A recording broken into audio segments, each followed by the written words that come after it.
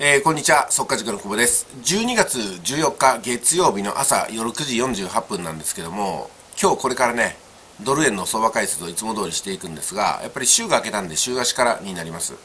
ところでね、グレートリセットっていう言葉が最近聞こえてきだしたんですけども、相場の世界でもグレートリセットってのがあるみたいなんですよ。それはどういうことかっていうとね、世の中の全ての秩序とか、金融体制とか、それから支配体制を一旦ね、チャラにして、また一からスタートして、その時にもうすでに決まった新しい支配体制とか、金融基軸とかね、えそれから国家間のやり取りとかっていうものがスタートするんだよと。いわゆるね、新世界秩序なのかなと思いますけども、ちょっとね、怖いような気がしますね。うん。アメリカの大統領選ってね、ちょっと今ね、不可解なことが起きていましてね、うん、これがちょっと私たちの想像を超えた恐ろしいことに発展するんではないかなと思っております。さあ、今日の相場解説いきます。画面を切り替えていきましょう。え、ー、と、まずは週足からですね。えー、この週足を見るに、やっぱりいつも通りこういうふうなことやっていきましょうか。ここであって、ここであって、ここであって、ここであってね。で、ビューッと横線を引きます。そうすると、このラインの下の方にもうね、出て久しいですね。まあ、ですんで、我々のフィールドは変わったということなんですよ。今まではこちらの線よりも、上の方で戦ってましたけどもこれからは下の方で戦うことになるのかなと思いますよね。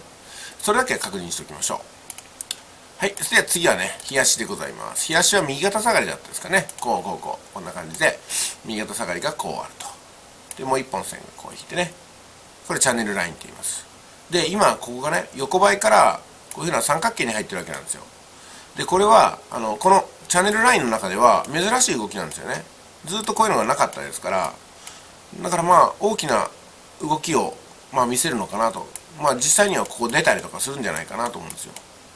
もしくはそのチャンネルラインの抜け方が横にずっといったまんまこのチャンネルラインを超えるとかね。ちょっと今まで見たことない形が出てきそうかなというふうに思っております。はい次は4時間足です。4時間足はだからねあの横ばいになってるんですよねこういうふうに。横ばいに。横ばいで若干収束しがちな横ばいです。こういうふうにね。で全体的に見るとこういうふうな形が見て取れるかなっていうところですね、まあ、ですので横ばいはまだ続くんじゃないですか。でまあ1時間を見るとあ横ばいが続くという前提なんですがうんここのフォーメーションはねなんかこのフラッグじゃないかと思うんですよ。ここに落ちてきてこういうふうに抜けると。で N を書いてもう一回抜けると。N を書いてもう一回抜けるみたいなね。で全体的にはこう横ばいにいくと。これは4時間に順次してるんですけどね、まあ、ですので若干セル目なんですけどもうん、まあ、横ばいっぽいんでエントリーには向かないかなってことでございます。先週ねエントリーする場所を探してたんですけどもうん冷静に考えてみるとエントリーする場所はちょっと見つからないかなってことですよね。じゃあどこで勝負するのかってことなんですけどもこれはねあの、わかりません。わからないんで、エントリーが考えられません。ということで、12月はね、本当におとなしい月なんですよ、1年の中でも。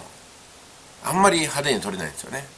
で、それがね、3週目とか4週目、クリスマスが過ぎた後は本当ピタッと止まるような感覚でこの4年過ごしてきたんですけども、うん、それがね、結構前倒しになってるなと思うんですよ。やっぱり気になるのはね、私たちはドル円を扱ってますから、アメリカの大統領選ですね。